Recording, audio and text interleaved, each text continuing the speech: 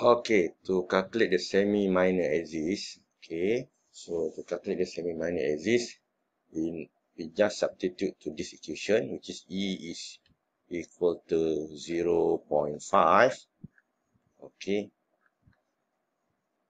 and the value of A semi-major is 4 AU, okay, 4 AU.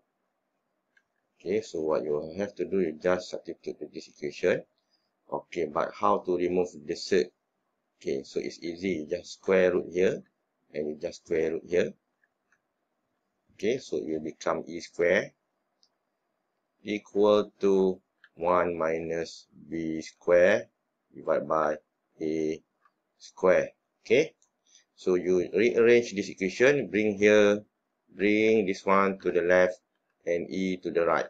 Okay, so it's become b square over a. a is 4, so we just substitute 4 square equals to 1 minus e square 0 0.5 square. This is e. Its value of e 0 0.5 square.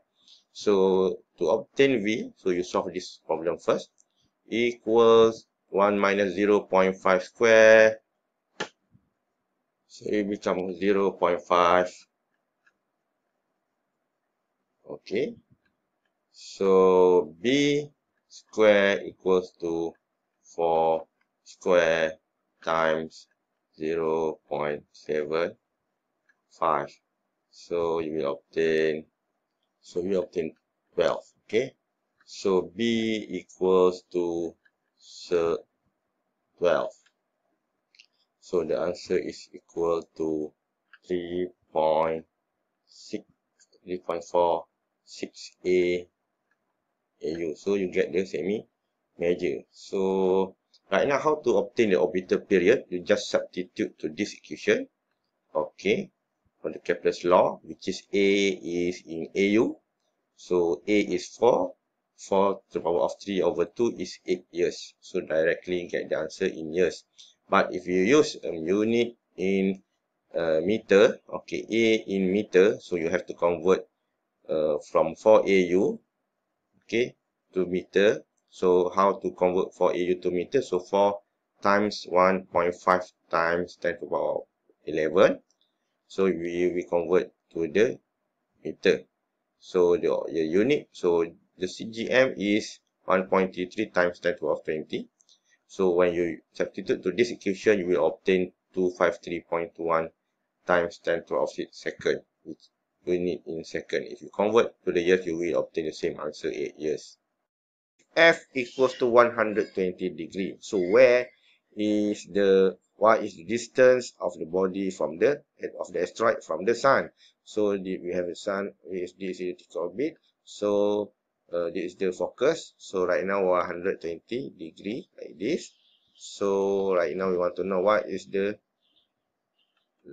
distance from the sun. Okay, so you just use equation to obtain the distance from the uh, center of mass of the sun.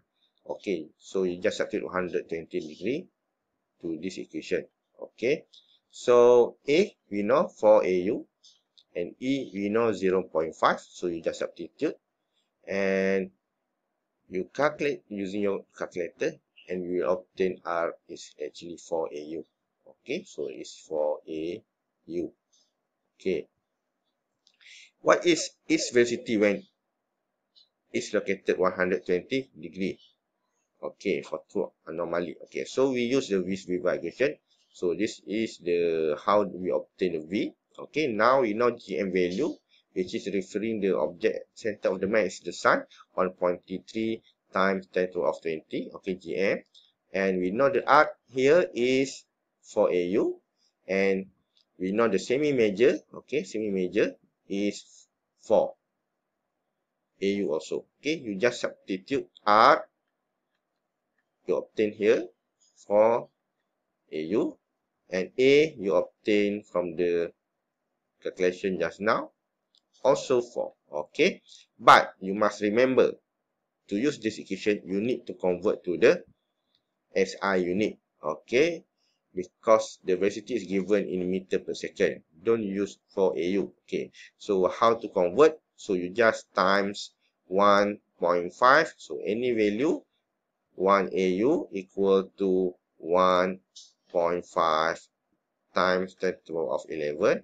So anything you want to convert from AU to the meter per second, you just time to this value 1.5 times 10 to the power of 11. So that's we did here. Okay. R for AU time to this value and A for AU time to the value. Okay, so this is equation 2 and 1. Okay, so GM value is 1.33 times 10 to the 20. So you just substitute here and you will get the answer. So don't forget the answer here you obtain. You must do a set. Okay, before you get the V. Ah, okay. So what you get here? So what you get here is the answer in V square. Okay, what you obtain here is V square. So you want to get the V, you have to do this operation. Okay.